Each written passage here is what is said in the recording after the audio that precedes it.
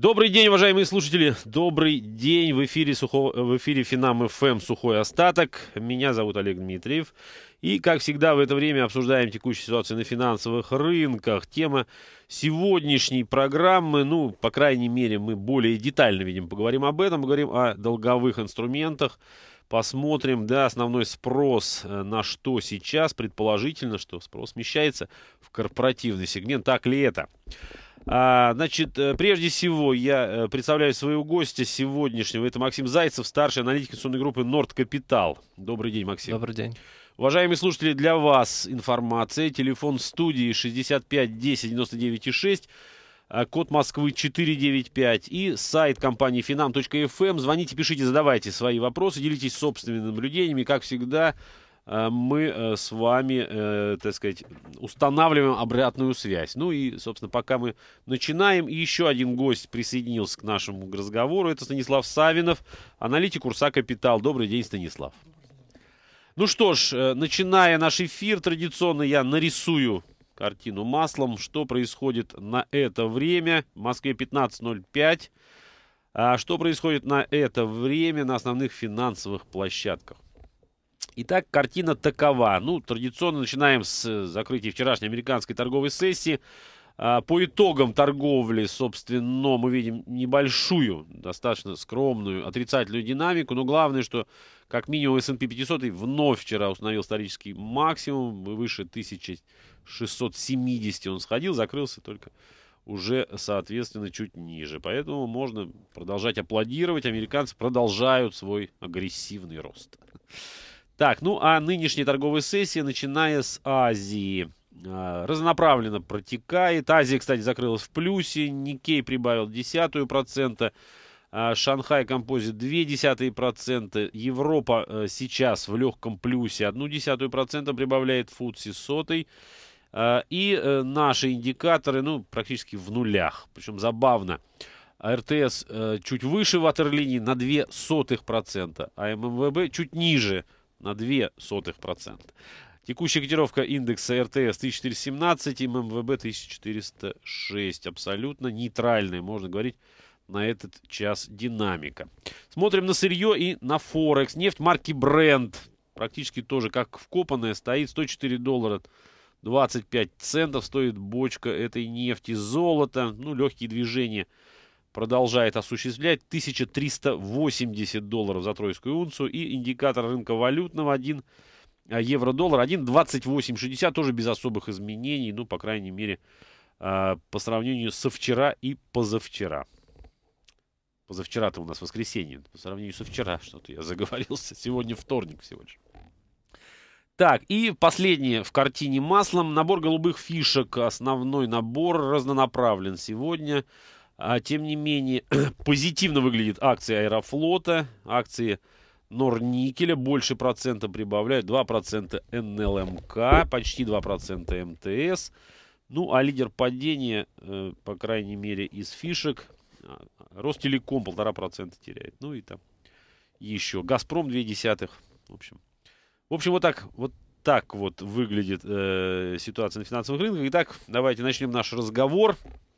Еще раз повторю, Станислав, собственно, тоже тема твоя. Мы сегодня говорим, ну, может быть, не предпочтительно, да, но все-таки в, в большой степени говорим о долговом рынке. Давно мы эту тему не обсуждали. Вот хотелось бы выяснить, как он а, себя чувствует. Причем давайте начнем мы с рынка Отечественной Федерации. Да, расскажите, что там сейчас делается, кому что интересно, есть ли все-таки интерес у иностранного инвестора а, к этому предмету. И потом очень хотелось бы обсудить, как долговые рынки, ну, в плане, конечно, государственных бумаг в основном, да, чувствуют себя за рубежом, в частности, в Европе, ну, и в Соединенных Штатах Америки, может быть, потому что, по крайней мере, судя по последним размещениям, да, та же Европа уже так нормально, даже лузеры размещаются нормально, там Греция, по-моему, 8%, да, там две недели назад.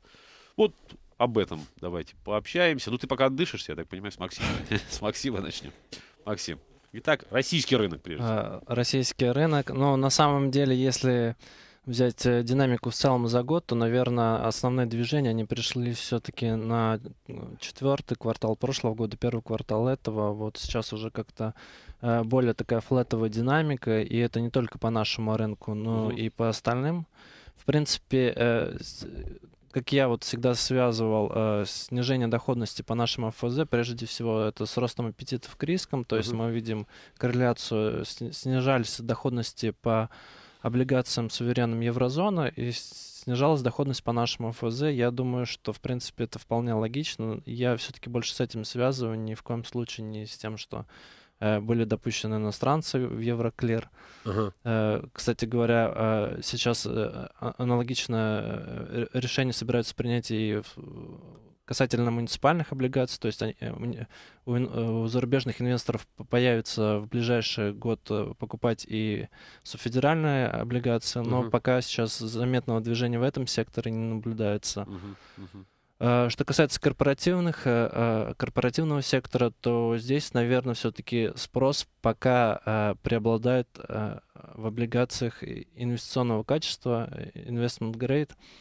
Потому что все-таки есть пока еще а, опасения у инвесторов в отношении того, что вообще будет с российской экономикой. Мы mm-hmm. видели, что по итогам первого квартала у нас рост ВВП 1,6%, что беспрецедентно низкий. Вот если мы исключим э, периоды рецессии там 2009 года, то это фактически минимальный темп прироста. Вот по итогам... С того времени, да? да с того времени еще. Вообще за все время. Uh-huh. Поэтому есть опасения по поводу э, э, рост экономики, соответственно, не, не особо сейчас инвесторы хотят брать на себя какой-то дополнительный кредитный риск. Если покупают какие-то активно, если есть активный спрос на какие-то корпоративные выпуски, то он э, только исключительно в короткой дюрации, uh-huh. полтора-два года, uh-huh. ни, никак не больше трех лет. Uh-huh. То есть Э, эмитенты второго эшелона просто не имеют даже возможности размещать, размещать длинные выпуски длиннее трех лет. Mm-hmm. Поэтому э, я бы не сказал, что спрос активно смещается вот именно в корпоративный сектор. Я бы сказал скорее, что предложение вот наверное, предложение вот смещается вот в корпоративный сектор, потому что размещение, в принципе, стало больше действительно. Mm-hmm. Но опять же... Размещение это... именно в корпоративном секторе. Да, да. Вот если мы возьмем объем в обращении, то, скажем, э, по гос... государственным облигациям э, увеличился объем в обращении где-то на 400 миллиардов рублей, э, в корпоративном на 800 миллиардов, при том, что год назад они примерно по объему были сопоставимы. Соответственно, опять же, увеличение предложения это опять же не в пользу дальнейшего снижения доходности по корпоративным выпускам. Все-таки, если в ФЗ какой-то интерес еще сохраняется, то с кредитным риском и со ставками на сужение кредитных спредов я бы сейчас был поосторожнее. Угу, я понял тебя. Станислав, вот на твое мнение, э, по твоему мнению, точнее, вот этот интерес конца года к российскому долговому рынку и начала этого, конца прошлого года, начала этого года, он все-таки потихоньку сходит на нет? Ну, скажем так, это взаимосвязано с действиями нашего центрального банка. Uh-huh. Очень многие участники рынка ожидали, что уже на апрельском заседании ключевые ставки, ставка рефинансирования аукционного репо на короткий срок а, будут понижены. А, и с этим связывали как раз а, свои ожидания, и что привело к заметному ценовому росту рынка ОФЗ. Но в дальнейшем а, после того, как наш ЦБ решил... В апреле, ми... да, да ничего не сделал. В мае ничего не сделал. Ну да, вот. И после этого, собственно, а, мы наблюдали некоторую коррекционную динамику. Так, в целом, большинство участников рынка до сих пор ожидают, и, в принципе, разумно то, что инфляция у нас в каком-то какой-то момент времени все-таки опустится в целевой диапазон ЦБ, uh-huh. и ЦБ будет иметь возможность э, снизить ставки, указанные ранее. Вот. И это, соответственно, скажется на э, доходностях э, госбумаг. Uh-huh. Поэтому пока некоторая пауза. Вот, э, смотрим еще и на внешний фон, где, собственно, ситуация может измениться. Сейчас э, интересные начали возникать движения в секторе американских казначейских облигаций. Десятилетки там потянулись к 2% на днях. Э, и, соответственно...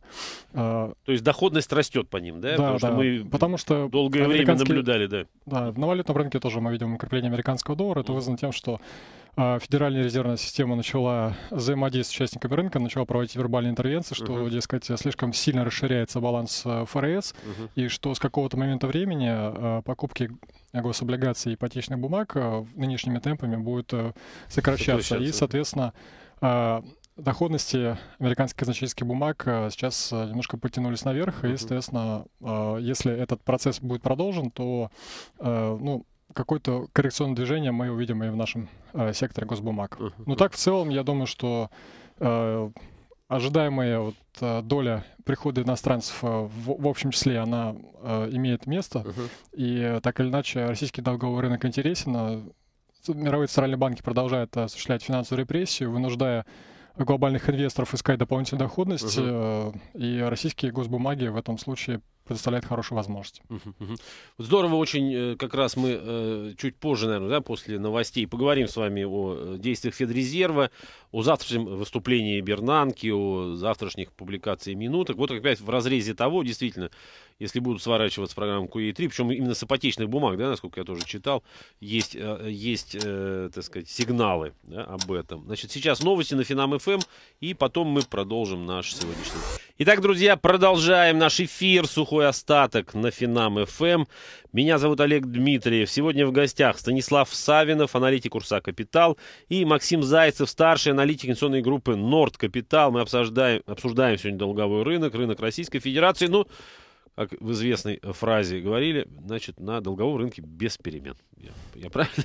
На Западном фронте без перемен более-менее, да, я так понимаю, ничего сильно не изменилось. Но, опять-таки, в ожидании снижения процентной ставки, может быть, и сделали какие-то, да, перепозиционироваться заставили игроков. Кстати, вот, Станислав, ты заговорил о том, что э, ожидания эти сохраняются, и если и в какой-то момент времени, да, твоя фраза, инфляция в, э, выйдет в, так сказать, означенные таргеты, да, в означенные пределы, мы можем, э, так сказать, действия эти Центрального банка увидеть. На твой взгляд, что это за озна а что это за временные э, границы? Вот, когда мы можем ждать, что инфляция снизится, тем более, что накануне летних месяцев, да, мы знаем прекрасно, лето связано с повышением тарифов ежегодно. Да, да, вот, собственно, наверное, со второго полугодия нужно обязательно посмотреть. Угу.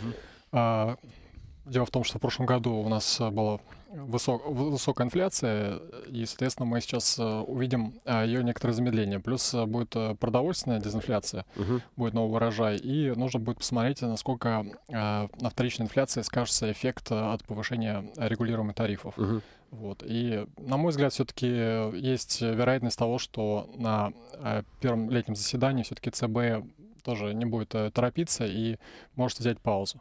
Вот. То есть а, и в июне тоже снижение да, не будет? Да, и в июне тоже, да, может это не произойти, uh-huh. это может произойти чуть позже. Вот. Хотя uh-huh. консенсус, я так понимаю, подразумевает, что все-таки это будет уже... Тут некоторое время назад ваш коллега сидел, он прям переживал, что ну что ж такое, в апреле я ждал, в мае это уж надо было точно, и никак. Вот, а, ЦБ опас- опасается uh-huh. роста инфляционных ожиданий, э, темпы инфляции вновь э, поднялись, uh-huh. были 7%, стали 7,2% в годовом исчислении. Uh-huh. И э, можно обратить внимание на выступление зампреда ЦБ Сергея Швецова, который отметил то, что а, нынешние темпы экономического роста соответствуют потенциальным. Только если мы увидим резкое дальнейшее замедление макро, а, нашей экономики, то uh-huh. в этом случае ЦБ может э, сделать этот шаг долгожданный. Uh-huh. Но пока мы видели последние данные 1,6%, чуть выше, чем э, прогноз Минэкономразвития в 1,1%. Uh-huh. Таким образом, у ЦБ пока еще есть пространство, ну не то что пространство, ну, он, понятно, он может да, переждать пока. Может еще посидеть, да, немножко.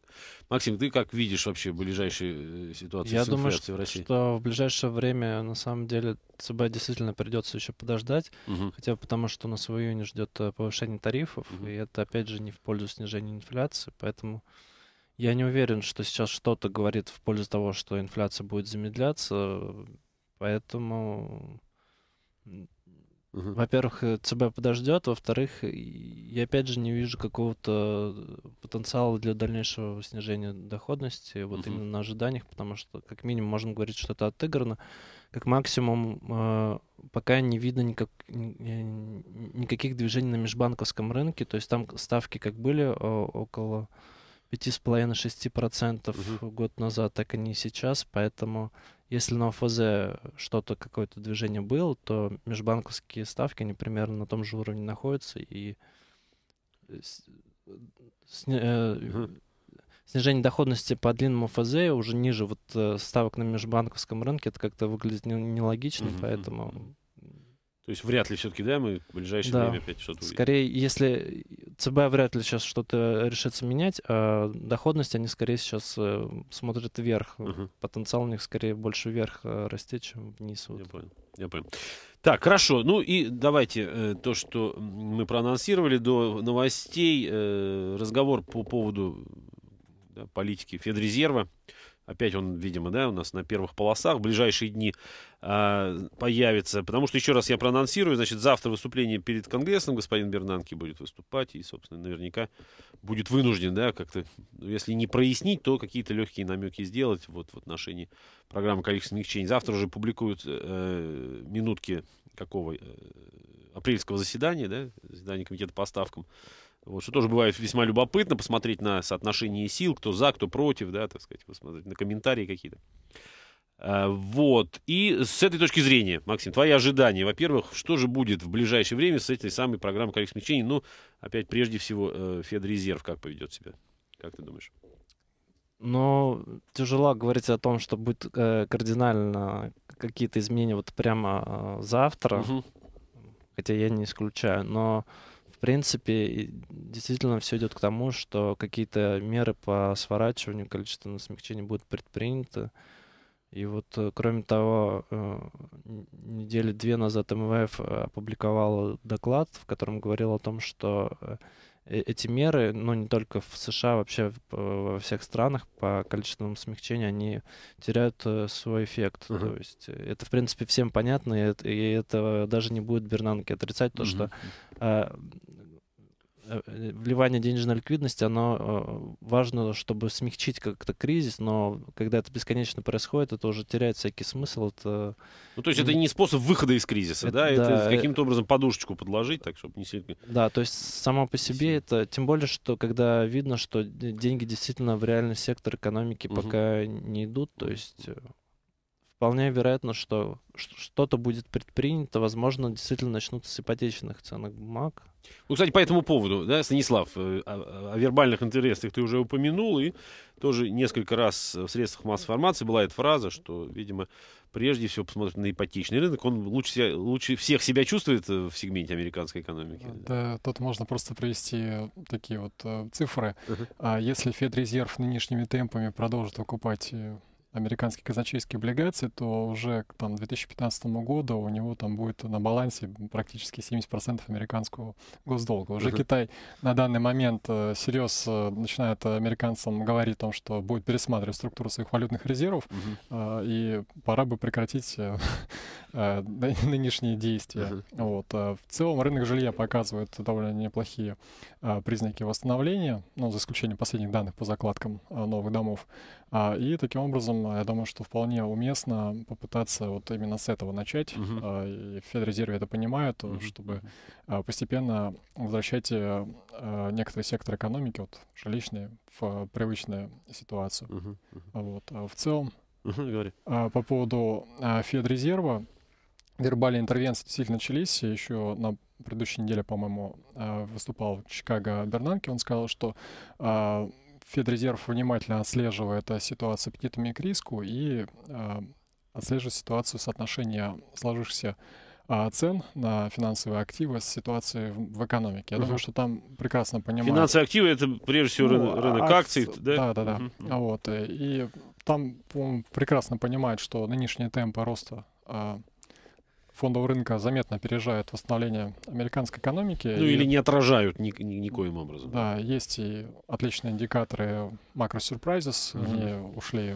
в глубоко в отрицательную зону, в то время как S&P там улетел в небеса. Да-да. Вот, расхождение очень большое, и нужно этот процесс как-то усмирить, пока еще не поздно. А если можно вот, чуть конкретнее этот индикатор макросюрпрайзис он называется, да, да, да. да, он что отражает? Он отражает э, разницу между э, фактическими высшими данными и ожиданиями э, экспертов, аналитиков. Uh-huh, uh-huh. И последние макроэкономические там, данные... Там слово какое? Сюрприз, да, ключевое? Ну да, да, неожиданность. Неожиданный сюрприз. Так, да? да. Uh-huh. Вот, собственно, последние индексы PMI, э, по-моему, хорошо сигнализируют о том, что, э, по крайней мере, вот этот повышательный момент в экономике, он угу. сейчас прерван. Угу. Вот, последние данные деловой активности ФРБ Филадельфии, Нью-Йорка, объем промпроизводства, угу. там рост э, заявок по безработице, все это указано то, что, по крайней мере, э, темпы роста, которые наблюдались там в прошлом году, вот сейчас э, в связи с секвестром, в связи с сокращением оборонных расходов, они претерпевают э, uh-huh. ухудшения. Uh-huh. Вот. И таким образом... Ну, есть мнение, что ну, сильно надолго, так сказать, они не ухудшатся, да? Ну, ну второй сейчас... квартал, может быть, да? А, а да, все, все, все ждут, но можно, опять же, вспомнить э, выступление Бернанки, э, извините, выступление Драги, который говорит, что макроэкономическая ситуация стабилизируется да, на да, низких да. уровнях. Это продолжалось он еще в прошлом году, да, Да, да, продолжает стабилизироваться, стабилизироваться, а сроки переносятся, и так все поступают э, политики, потому что у них такая функция. У них такая работа, да. Отвечать такая... не хочется никому. Да. да, и, собственно, по поводу э, восстановления экономики, вчера выступал Эванс, сказал, mm-hmm. что вот сейчас они как раз и смотрят, сможет ли э, э, экономика э, поддерживать сама себя, uh-huh. то есть без вот монетарных стимулов. Без вливаний. Uh-huh. И поэтому, наверное, все-таки отключать вот а, искусственного дыхания экономику никто не будет, но то, что пора бы уже сократить темпы ее поддержки, по-моему, это очевидно, потому что уровень левериджа на рынке акций зашкаливает, и всегда это всегда заканчивалось... Это очень плохо, конечно, заканчивается. Неблагоприятными. Естественно, да. Бесконечно такое продолжаться не может. Чем выше, естественно, да, заберемся, тем круче будет падать. Если еще продолжать разговор, Максим, о, о, о перспективах американской экономики, вот этот вот заявленный таргет по безработице в районе 6,5%, на свой взгляд, вообще он э, реально достижим, и для этого потребуется сказать, серьезное какое-то время. Но с учетом того, что как-то это пока не коррелирует с, mm-hmm. то есть нет никакого заметного движения и в других каких-то сегментах, но разве что у нас какое-то улучшение на рынке недвижимости. Ну, это, по-моему, единственное, мы только об этом и говорим. Потому что даже если а. там от месяца к месяцу показывает, да, улучшение э, рынок труда, безработица снижается, там новые места, а следующий месяц, э, значит, получается рваная статистика какая-то, да, то есть стабильности нет. А, пока, пока это как бы выглядит какой-то, ну, я бы не сказал, что очень отдаленная перспектива, но uh-huh. как минимум э, это среднесрочная перспектива. То есть... Э, Нескольких лет, да? Э, да, то есть если мы будем рассматривать какой-то оптимистичный сценарий, то, соответственно, вот, вот скорее всего так. Но я думаю, что Э, изначально так э, ФРС и планировал то, что эта программа будет не на один год, но uh-huh. я думаю, что единственное, да, то, что сейчас есть страх, э, то, что излишняя залеверджированность на рынке существует, и как бы есть опасения того, как бы... Если это... можно, тоже для слушателей леверидж, леверидж, что это по-русски-то, как, как мы это переводим? Ну, О чем идет речь? Из, излишний рычаг финансовый, uh-huh. вот так Излишнее вот, кредитование, да? Да, излишнее кредитование, uh-huh, uh-huh. что, соответственно, может привести к пузырю и, и к негативным последствиям, которые еще могут быть хуже, чем uh-huh. вот э, благоприятный эффект какой-то от, uh-huh. от того, что Тем более о пузыре это, да, и о пузыре недвижимости можно вспоминать в седьмой год, а потом, что было в восьмом году. Мы все это еще помним. Итак, друзья, спасибо. Значит, сейчас еще раз новости на Финам ФМ, потом продолжим беседу. Итак, продолжим, продолжим, продолжим. Сухой остаток на Финам ФМ. Мои гости сегодня с удовольствием представляю. Еще раз Станислав Савинов, аналитик Курса Капитал, и Максим Зайцев, старший аналитик инвестиционной группы Норд Капитал. Мы обсуждаем текущую ситуацию на рынке долговом, российском и не очень российском.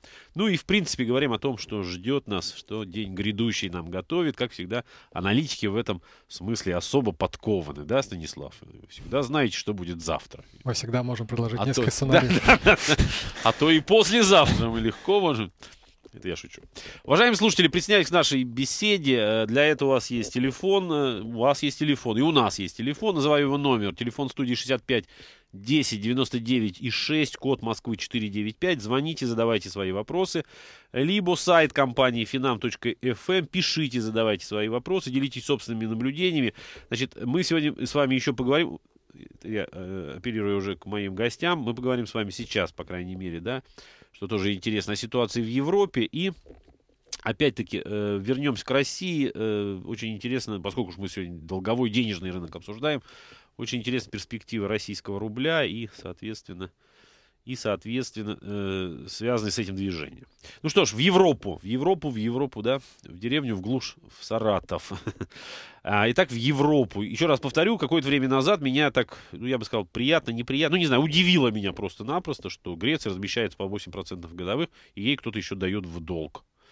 Вот это о чем говорит Максим? О стабилизации ситуации в Европе, либо о том, что э, инвестор, ну, в принципе, ему, у него есть деньги, ему куда-то их надо деть, а у него выбор, может, не особенно большой. О чем это говорит Максим? А, но в первую очередь это говорит о том, что все-таки какой-то благоприятный эффект, э, вот э, как ни странно, реструктуризация, вот два раза, которая прошла в Греции, она оказала, в принципе, то есть, в принципе, реструктуризация это уменьшение долга, Мгм. то есть он более- более-менее стал менее а, отпугивающим, Мгм.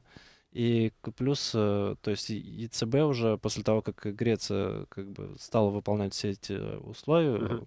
более активно поддерживают вот э, и на вторичном рынке, плюс э, э, было повышение от рейтинговых агентств, поэтому как бы здесь все сходится воедино. Другое дело, что... Ну, то есть это заслуга регуляторов, я так понимаю, да? Что инвестор А. успокоился и говорит, ну, там, если что, поддержат, да, ЕЦБ Э, за спиной. регуля- ЕЦБ плюс Минфина Греция Да, в какой-то степени. И...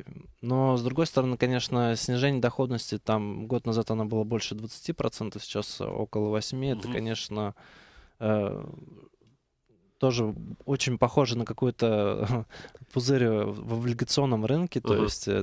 э, То есть это ненормально. Да, это э, как бы лично мне не нравятся как бы банды с 8% доходностью, у которых два раза э, реструктуризация прошла совсем Мгм, недавно. мгм. Но я не знаю, возможно, здесь отчасти, как это не парадоксально звучит, э, э, э, сыграл фактор Кипра, когда там а, части, во-первых, э, часть, э, там значительное число денег было из Греции, они вот сейчас вернулись туда в банки, Мгм. то есть там э, какое-то улучшение с ликвидностью. Во-вторых, э, при вот э, введении этого налога в кавычках, когда там э, большинство кипрских вкладчиков лишились э, своих денег, большей части, э, э, на самом деле не пострадали те, у которых э, деньги были в каких-то бумагах, вот, и, Ну, то есть они возможно- не на банковских депозитах лежали, Да, да, да. были в активах каких-то. Да, вот. И, возможно, вот сейчас как бы какой-то исход из депозитов есть э, в, Ага, в- ага. непосредственно самые- государственной бумаге, да. Мгм, То есть в данном случае в греческие банды. Я понял. То есть, возможно, этот фактор, но это так. Ну, как минимум, наше предположение. Станислав, ну и, в принципе, если говорить о еврозоне, все-таки ситуация на долговом рынке, да, на финансовом рынке еврозоны немножко стабилизировалась, правильно? Мы не вспоминаем об Испании, да, мы, сказать, это вот- заслуга ЕЦБ с прошлого года. Он с- э, ввел такое понятие, как ОМТ, то, что он будет э, покупать в неограниченных количествах э, облигаций Мгм. проблемных стран, если они будут выполнять э, условия по сокращению дефицита бюджета и по сокращению долговой нагрузки. Мгм.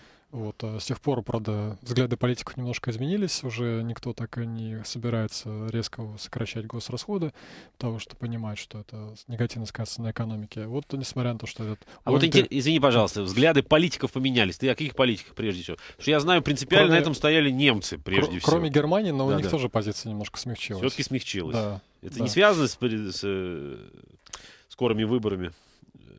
Ну, я думаю, что может быть Ага. в какой-то степени, но я думаю, что это здравый смысл, потому что та же самая экономика Франции, где сейчас наблюдается как раз внедряется программа по сокращению госрасходов, Мгм. для того, чтобы вывести дефицит бюджета на 3%.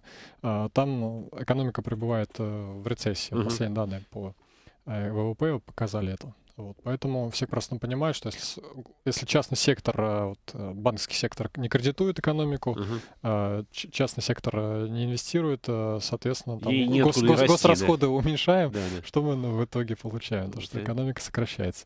То Вот. есть нужно, ну, нужно, чтобы прошло сколько лет, да? Ну, с кризиса можно считать, там, ну, что прошло 5 лет, ну, или, может быть, активной фазы, там, года 2-3, а, чтобы понять, да, что это неэффективный метод. Да, можно было это и раньше увидеть Ага. на той же самой Греции, которые э, Ну резали, резали. Резали, я- резали, да. Я не думаю, дорезали. что здесь все-таки другой немножко фактор, то Мгм. что, в принципе, сейчас э, есть цель э, снизить дефицит бюджета меньше 5% к ВВП. В Мгм. принципе, ну, такой общий показатель, к- как договорились все страны еврозоны, что вот должно быть меньше 5, и Мгм. долг там ниже 60% к ВВП. Ну, вот до уровня долговой нагрузки снижения оптимального уровня еще далеко, а вот э, в плане э, уменьшения дефицита бюджета все-таки есть какой-то прогресс, поэтому в, в дальнейшем как бы э, сейчас э, вот в- что касается сбалансированности бюджета, это уже меньше давит, просто потому что уже ну, большая часть расходов как бы была урезана, Мгм. то есть эти программы были проведены, и поэтому на данный момент это уже как-то менее актуально, потому что в, в принципе большинство стран п- приблизились к этим показателям оптимальным, мгм. которые они хотели достичь, поэтому как бы Мгм. То есть уже что-то было сделано, поэтому сейчас уже не так тяжело, вот так вот скажем. Здесь такая логика. Я понял, я понял. Ну, так или иначе, эти самые дефициты бюджета, которые были достигнуты, они в такой же легкой степени могут быть и увеличены Мгм. в связи с замедлением экономики. И последние а, данные, вот как раз то, что Испания откладывает реализацию этой программы, Франция, они показывают, что, а, увы и ах, экономика пока не позволяет реализовывать задуманное. Мгм. Вот. А по поводу долгового рынка, можно сказать, что обещания ЕЦБ э, и плюс э, ликвидность э, того же самого Банка Японии, ФРС, Банка Англии. Э, Инвесторов э, много денег, вот э, доходности низкие, Мгм. есть возможность сыграть на этом, Мгм. почему бы и нет. Тем более вот, ну, в еврозоне немножко по-другому все это реализуется через ЛТРО. ЛТРО, ага. Да, просто если ФРС сам выкупает, то в Европе выкупают банки. Мгм. Банкам проще купить долговые бумаги, по которым так или иначе потом будут э, платежи осуществляться, нежели кредитовать реальный сектор экономики, Конечно. особенно малый бизнес, который... Тем более, что в какой-то степени гарантирует, да, регулятор. Да, ребята, да. ребята, берите, если будут проблемы, есть. да, я всегда помогу. Да, а нежели кредитовать реальный сектор экономики, я думаю, вот испанские банки, я думаю, что с удовольствием покупают го- гособлигации своей страны, нежели там кредитуют тех же самых строителей. И в результате мы видим вот опять, да, вот этот парадоксальный, Ну, Э, порочный круг. порочный, да, да, совершенно Вот. верно. Хотели как, да, известный политик говорил, хотели как лучше, получилось как всегда. Ну и насколько долго это все может продлиться, ведь бесконечно, ты же сам говорил, да, и в, и в отношении Федрезерва, ну и в отношении, наверное, а, ЕЦБ бесконечно не может это быть. Э, Значит, я- ну, нужен какой-то опять, да, Будут- пинок-толчок, что-то Будут какое- продолжать до победного конца. До победы. Ну, то есть, нет, ну, вряд ли будет победный, да, победный вот этот финал. Наверняка опять, да, так сказать, все это придет к тому, что где-то что-то опять лопнет, не дай бог, да, где-то что-то Я бы не стал накроется. говорить, что это порочный круг. но Ага. На самом деле долг есть у всех стран, это вполне нормально. Ну да. А Дефицит, я же, ну, Ага. действительно, прогресс какой-то есть. Э, Говорить о снижении долговой нагрузки пока не приходится, но пока только растет, но дефицит бюджета снижается. Э, Если сейчас совсем уж ослабить вот эти вот э, программы в расчете на рост экономики, то есть... э, Ослабить, в смысле, сократить эти программы, да? Э, Не сократить, а то есть э, разрешить там заимствовать опять деньги, то есть в Мгм. неограниченном объеме. То есть пусть у нас будет дефицит такой, какой будет, Ну мы да. зато будем стимулировать экономику. На самом деле это может в итоге к обратному эффекту привести, то что инвесторам станет страшно покупать просто. Мгм, мгм. А при- чего они будут бояться? Они будут э, бояться, потому что если у, у нас дефицит бюджета растет, соответственно, нам приходится размещать больше облигаций. Мгм. Если э, мы больше заимствуем, больше э, предложений, соответственно, доходности растут Мгм. доходности растут, э, растет э, стоимость обслуживания долга, соответственно, это опять же будет давить на экономику. То есть вот это уже Вот порочный это, круг. да, вот это тоже круг уже, очередной круг. Поэтому здесь, э, в принципе, правильная политика по сокращению расходов. Пок- э, Здесь просто надо переболеть. И вот эта вот болезнь долговая, она не на один год э, затянется, безусловно, но здесь другого варианта нет. Просто надо затянуть пояса и ждать, пока вот... э, Пока не, не пока, заживет, пока не зарубцуется. Пока сначала не будут достигнуты сбалансированные бюджеты, потом, соответственно, должно быть какое-то снижение по доходностям, ощутимому, но это уже мы видим. Мгм. И, соответственно, уже потом можно рассчитывать на какой-то рост экономики. Мгм. Я понял. Хорошо. Кстати, вот ты, ты заговорил о том, что да, бог с ними, с дефицитами бюджета, давайте накачивать, накачивать, пусть экономика растет. Да? Такой сценарий я где-то читал, э, значит, какие-то мировые экономисты предлагали, да, это сценарий О, такого инфляционного, да, выхода из Ну, инфляционного же роста. сам МВФ а, предлагал поднять Мгм. таргет по инфляции до 3%. да. Мировые центральные банки, как правило, придерживаются 2%, для того, Мгм. чтобы просто дать экономике почувствовать, э, Задышать, задышать. задышать, да, задышать. и немножко долг обесценить Обесценить, таки- да. таким вот образом. Ну, вообще, этот сценарий реалистичен, как ты считаешь? Но с учетом последних инфляционных данных это маловероятно, Маловероятно. потому что экономика на самом деле чувствует себя не очень хорошо в той же самой Америке. То есть даже если планку верхнюю поднять, да, в любом случае Но инфляции это нет. тогда и нужно толк. расширять еще больше, еще сильнее Мгм. мои- количественное смягчение, потому что на данный момент э, мы видим, что в реальном секторе экономики не все так хорошо, Мгм. как могло бы быть, и темпы инфляции они очень резко А, сокращаются. кстати, вот ты сам, э, да, только что говорил, что банки, ну и вполне логично, да, они говорят, я лучше э, куплю, да, есть такая возможность, э, долги там какого-то государства, потому что ЕЦБ, если что, мне поможет. А в реальный сектор экономики эти деньги вести, да ну его это все. Это все сложнее, это все риски там другие. А если приказать банку, можно это? Но только в Китае. Только в Китае?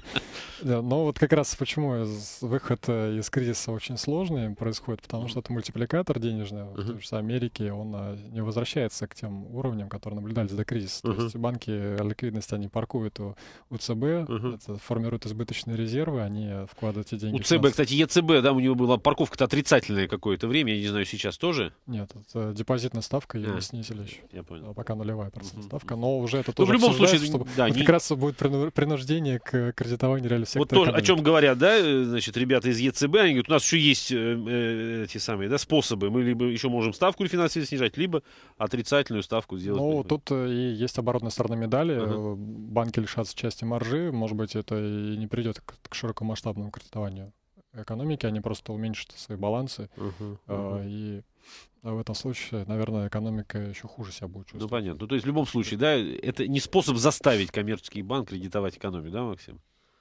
Ну, я думаю, что снижение ставок по суверенным облигациям в итоге их заставит все-таки это делать, потому что как бы зарабатывать всем хочется, поэтому. Мгм. постепенно деньги туда будут перетекать по мере снижения ставок по э, по государственным облигациям. Мгм. Когда пока ставки еще высокие, там, каким мы видим по Италии, Испании, там в районе 5-6%, Мгм. это, в принципе... Это еще пока привлекательно, да? Да, это, пока привлекательно? привлекательно. Безусловно, лучше в них пересидеть, чем кредитовать к- кор- корпорации. А, кстати, вот если предположить, да, что решение коммерческий банк принимает, э, глядя на размер процентных ставок э, по государственным облигациям, вот какая его уже будет меньше интересовать? Ну, 5-6 это хорошо. Сколько? Один? Ну, на самом деле, Ноль. у вот, ставка рефинансирования у ЕЦБ 0,5, Мгм. то есть у них маржа сейчас достаточно приличная. Большая, да. Хорошо, э, спасибо. Значит, еще раз мы прервемся. Новости на Финам ФМ и потом продолжим. И ну, ну что ж, последняя часть эфира, сухой остаток на Финам ФМ. Давайте его проведем так же бодренько, как и весь, да, весь остальной эфир. Кстати, я сейчас, пока была рекламка, э, смотрел на график золота я. Ну, не случайно мы, собственно, до, а, до перерыва поговорили с вами о неком инвестиционном сцена- сценарии. Ну, я так понимаю, да, по мнению моих гостей, не особенно эффективным в нынешних экономических условиях. Но, тем не менее, а, я напомню, что традиционно мы считаем, да, э, металлы платиновой группы, так называемые, да, ну, в частности, золото, серебро, там, что еще, палладий, некой защитой как раз от инфляционного сценария. Может быть, именно поэтому последние, ну, можно сказать, там, полтора месяца золото и серебро, в частности, да, как наиболее такие э, спекулятивные инструменты, доступные, кстати, не только институциональным инвесторам, да, о которых мы говорили в перерыве, но и частникам. Может быть, поэтому они только неуверенно себя чувствуют и приседают достаточно серьезно. Вот золото упало к минимуму 2010 года. Станислав, как ты думаешь? А, Да, действительно, последние данные по инфляции ведущих экономиках мира сейчас США показывают, что на самом деле наблюдается дезинфляция, резкое сокращение темпов инфляции, Мгм, и золото как э, хедж от инфляции в данном случае не интересно. То есть в этом причина, да, что вот Да, из плюс него еще выходит, в золоте очень много было игроков, в частности, хедж-фонды, там, прям того же самого очень уважаемого на Уолл-стрит Полсона, а, вот, и было очень много маржин колов. Мгм. Вот. В том числе там Сорос сидел в золоте. Это вот э, когда в апреле, да, все это э, Ну, поли- там на полетело? 10%, А, когда там, Да, да, вот 10% как раз апрельский падение. да, там серебро, по-моему, на прошлой, вчера, по-моему, на 10% там А серебро уже, да, снижалось. ниже апрельского минимума, то есть Да. обновило low. Да, плюс э, опасения в развале еврозоны поступили вместо ус- успокоения Мгм, мгм. после запуска этой программы OMT, вернее, не запуска, а обещания запустить. э, И это, эти страхи тоже улеглись, поэтому золото сейчас на данный момент неинтересно. Не в фаворе, не в Да. фаворе, да? Да. Ну, опять же, если посмотреть э, глобальную картину, э, там, месячные графики, годовые графики, то мы просто видим, что это просто коррекция, Коррекция, к той волне роста э, с 2008 года. И недостаточно. Да, да, поэтому, не когда глубокая. затрясет, я думаю, что золото вновь будет интересно. Мгм. А, Максим, ты как думаешь, золото может вот в нынешней экономической ситуации, в нынешней, ну, я не знаю, психологической ситуации каким-то защитным активом наблюдать, э, быть?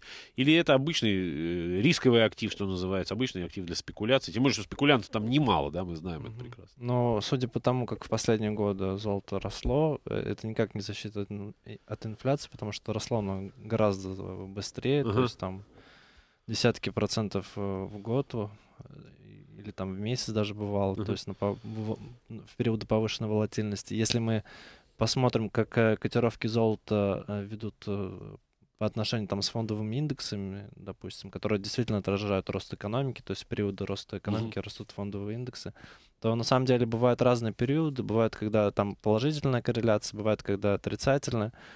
То есть, в принципе, это такой актив, который ведет, как бы, если мы посмотрим статистику, сам по себе.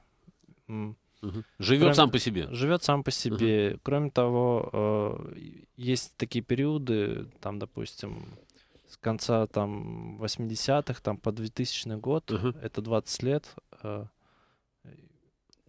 или да, или с конца 70-х, да, а, а, золото там в течение всего этого периода падало, то есть в цене. Mm. То есть, в принципе, это как, как таковой не очень хороший защитный актив, и его до, какие-то стандартные, с, как промышленный металл, он тоже не особо используется, то uh-huh. есть это больше спекулятивный такой инструмент, поэтому здесь достаточно сложно прогнозировать динамику. Я не знаю, я бы не рекомендовал никому его использовать как защитный актив. Uh-huh. Это скорее такой стереотип на рынке, и не всегда э, по нему наблюдается обратная корреляция с фондовым рынком. Не всегда на падение экономики, на падение фондовых э, индексов, не всегда спрос на золото растет. Uh-huh. Поэтому я был бы поосторожнее.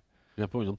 Кстати, если говорить о технической доступности этого самого металла, то мы, э, ну, с, учет, с точки зрения спекуляции, или, может быть, с точки зрения инвестиций даже, каких-то среднесрочных позиций, мы все-таки, Станислав, на что смотрим? На э, э, форцы, да, на срочный рынок Российской Федерации, или это золотые слитки, или это безличный металлический счет?